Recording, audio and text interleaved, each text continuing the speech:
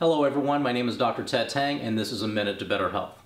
All this month we're talking about New Year's resolutions. It's that time of year again where we're making New Year's resolutions to become healthier and at HealthQuest we can help you achieve this goal of a healthier you through our Detox Foot Bath program.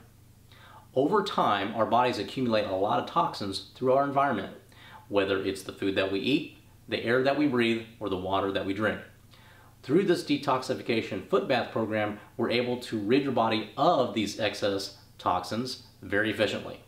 So the way it works is that your feet are placed inside an ionized water bath, and through osmosis, the toxins are drawn out through the feet and into the water over a 30 minute session.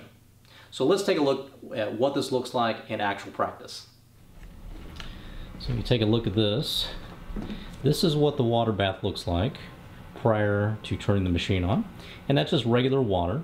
And the apparatus there in the middle is what ionizes the water to help draw the toxins out. And this is what it looks like after a 30 minute bath. And as you can see, the water looks pretty dirty. Um, different colors mean different things. So in this case, the water is a brownish orangish color, probably more brown than anything. And that would indicate a detoxification of the liver, uh, cellular debris, um, it could be tobacco, uh, could be a variety of different things, maybe even uh, detoxifying the joints. So if anyone has any questions regarding the foot bath or would like to set up an appointment, please call us at 635 9655 and thanks for watching.